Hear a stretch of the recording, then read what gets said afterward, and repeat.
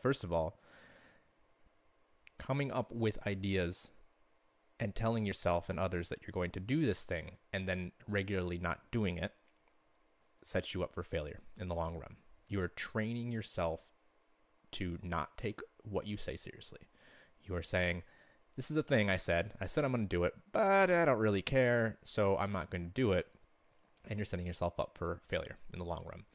So we need to make sure that things we say, especially to ourselves, have value and that those things are things that we want to be true. So if we look at a resolution, first of all, you need to make sure that it is something that you truly want and are willing to do the work for. Resolutions are not magic wishes. These are things that you are going to make happen. You are resolving to make them happen. And if you come into it with that mindset, you're going to have a better time of making it happen.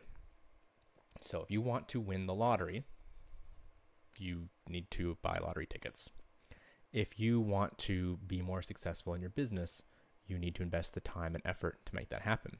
If you want to put, say, lose five kilos in the first quarter of the year, which is totally manageable, you need to actually have a plan to do that